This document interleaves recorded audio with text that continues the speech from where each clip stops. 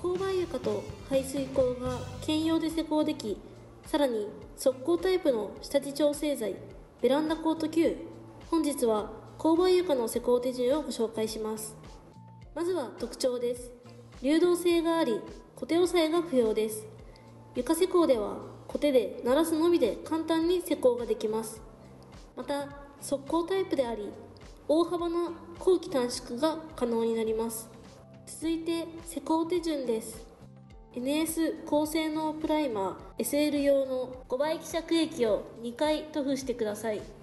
続いて NS ベランダコート Q1 体に対し清水約5.5リットルを加えます。所定の流動性が得られない場合がありますので高速回転で十分に練り混ぜてください。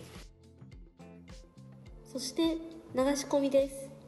NS ベランダコート Q を流し込みコテで押し広げながら所定の厚さになるようにならしてください。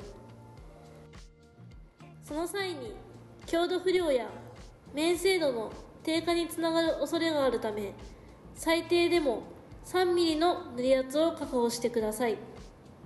速攻タイプであるため夏季は約4時間後冬季は約6時間後に軽歩行が可能となります今回は勾配床への施工をご紹介いたしましたが同じ製品で排水口への施工も可能です兼用材であり速攻タイプであることから多くの現場で使用いただいております。